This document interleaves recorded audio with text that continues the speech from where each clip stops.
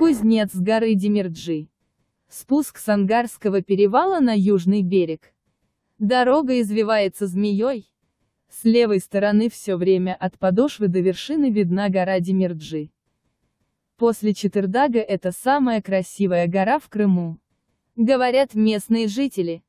Сколько часов имеет день, столько раз меняется ее цвет. Будто радуга переливается по ее склонам. Днем, когда все залито солнечным светом, можно заметить на горе скопление глыб. Словно великан отрывал их от вершины и складывал в кучу. На стороне, обращенной к долине, видны каменные колонны. Сказочные фигуры. Не то люди, не то животные. Стоят эти причудливые изваяния рядом с обыкновенными скалами и как бы спрашивают. Узнайте, кто мы такие? Как мы попали сюда? А о них старожилы рассказывают множество легенд. Вот одна такая легенда. В далекие-далекие времена хлынули на крымскую землю орды завоевателей-кочевников. Были они коренасты, длинноруки, лица круглые, глаза маленькие, а взгляд свирепый, как огненная лава. Растекались они по степям и горам. Гарь, дым, смрад стлались за ними. Не покорились пришельцам крымские жители. Храбро встречали врагов. Немало истребили они незваных гостей. Поубавили их спесь. И чем дальше вглубь полуострова двигались завоеватели, тем больше нужды в оружии испытывали они. И дошли они до горы, которую местные люди звали Фунна, дымящаяся. Поднимался с вершины ее столб дымящегося огня. Всегда светло было вокруг горы. Славились окрестные жители кузнечным искусством. Немало умельцев жило в селении у подножия горы трудясь в своих маленьких кузницах. Первый горн в этих местах люди зажгли от огня с вершины Фунны. И часто в народе эту гору звали по-другому Демирджи. Что значит кузнец? Собрались вокруг горы военачальники завоевателей. С удивлением смотрели на ее окутанную дымом вершину. «Лучший горн где найдешь?» — сказал старший. Тут будем ковать себе оружие. Он подозвал человека, который выделялся своей внешностью. Был он высок, широкогруд, имел длинную черную бороду. В ней велись серебристые нити. Глаза большие, красивые. Смотришь в них, оторваться трудно. А на душе, страшно. Кто хоть раз видел этого человека, не мог забыть ни его могучего тела, ни его тяжелого взгляда. Сказал старший военачальник Чернобородому несколько слов. Отошел тот быстро. Позвал с собой несколько воинов. И пустились они к селению.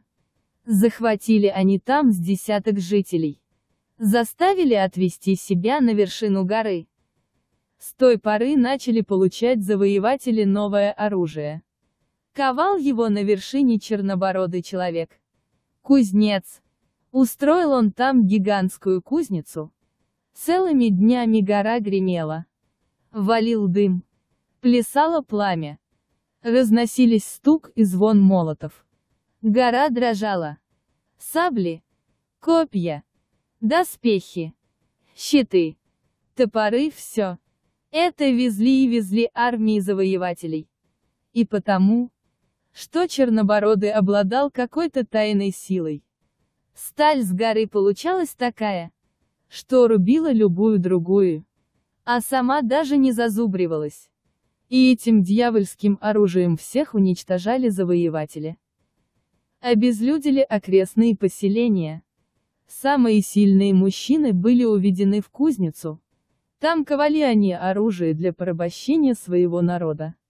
Закованные в цепи, Работали до изнеможения. Расковыряли жерла горы. Увеличили силу поднимавшегося из нее огня. Высекли из скал огромные колонны, покрыли их навесом. Гибли они от непосильного труда, от голода и лишений. Пылавшее пламя сушило землю, иссякали родники, мелели речки, перестал родиться виноград, чахли плодовые деревья. Приближался конец всему живому вокруг горы, Возле Фунны не уставала ходить с косой смерть. Все новых и новых работников требовал чернобородый кузнец. Все больше и больше гибло их на вершине горы. Собрались старейшины нескольких деревень, чтобы обдумать, как же избавиться от страшного соседства, как потушить адскую кузницу, чтобы перестала она ковать оружие сеющее в мире разрушение и смерть. Отрядили они самых уважаемых. Послали к кузнецу, просить его уйти с горы. Долго их не было. И вдруг доставили с фунны еще горячий кувшин с пеплом и остатками человеческих костей. Хорошо поняли в селении, что хотел сказать им кузнец. И замерло все кругом в большом горе. Тогда одна девушка, Марией звали ее, решила поговорить с господином огня. Тихонько пробралась она мимо стражи. Чуть заметными тропками добралась до огромной кузницы. Мрачную картину увидела она. Под навесом клокотали огнем десятки горнов. Гудели меха. Искры разлетались яркими снопами. У наковален стояли полуголые люди били молотами по раскаленному железу. В углу на груди железа лежал мертвый человек. Мария узнала своего соседа, который совсем недавно был взят на гору. Дождалась она, когда появился Чернобородый, и подошла к нему.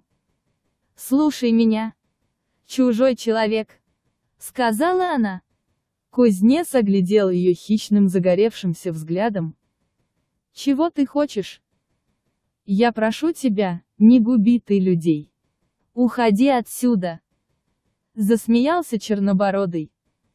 Нет, не уйду я. Зачем мне уходить? И тебя здесь оставлю. Ты будешь моей? Он протянул руку к девушке. Оттолкнула она его с безумной силой. Упал он возле горна. Опалил волосы одежду. Взвыл звериным воем. В неудержимой злобе схватил только что откованный кинжал. И пала Марии бездыханным трупом к его ногам. Старая седая гора не выдержала такого злодейства. Дрогнула она от основания до вершины. Зашатались устой, на которых держался навес, и рухнули на горные наковальни. Шире раскрылось жерло горы, и провалились в его раскаленную глубину чернобородые вместе с его помощниками, пришельцами. А те, кто был из долины, словно ветром были подняты высоко в небо и плавно опущены к своим хижинам.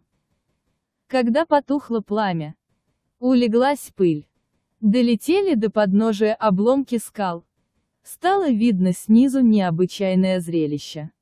На склоне горы высились каменные изваяния неведомых чудовищ, то были уродливые подобия кузнеца и его подручных. А на самом высоком месте горы, если смотреть с долины по дороге к морю, появилась скала, похожая на женскую голову. Она напоминала всем поселянам о девушке Марии, последней жертве жестокого кузнеца. И от тех времен потухла Фунна. Не стало видно огня над ее вершиной и было забыто людьми давнее имя горы, дымящееся. Но запомнил народ все пережитое и закрепил за горой новое имя, Демирджи. Что значит кузнец?